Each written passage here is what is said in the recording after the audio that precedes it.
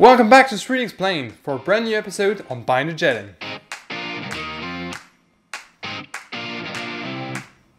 As suggested by its name, binder jetting uses a binding agent to form 3D objects. This 3D printing technology was created in the 1990s at the MIT.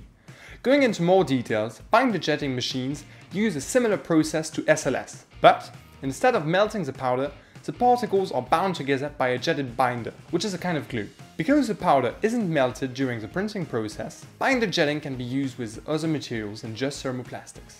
Such materials include sand, metals, ceramics, and polymers. Binder jetting is considered the OG 3D printing process. In some ways, it is very similar to 2D paper printing, or at least inkjet. Actually uses slightly modified inkjet heads to project the binding agent onto the powder. You can think of it as regular inkjet printing, but the printer is also combining the stacked layers together, thus building a 3D object. Binder jetting is more cost effective than SLS, SLM and other PBF processes, but its final mechanical properties are slightly weaker, as the powder particles aren't actually fused together. You can think of it as the difference between soldering and welding. When soldering, you glue the metals thanks to the solder, whereas with welding, you're actually melting the metals and fusing them together. Another advantage of binder jetting is its improved dimensional accuracy compared to PBF, since there is no differential cooling, so some shrinkage can occur during the infiltration or the sintering process.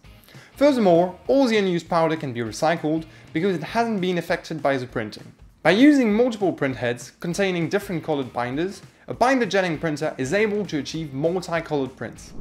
Some jetted parts can be used as such, straight out of the printer, but some others have to be post-cured or sintered before final use. Those post-processing steps can be critical to ensure better mechanical properties of the printed object. Another post-processing method is to infiltrate the printed object with a fluid to strengthen it. For polymers, the preferred infiltrate liquid is epoxy. For ceramics, it's cyanoacrylate, and for metals, it's bronze.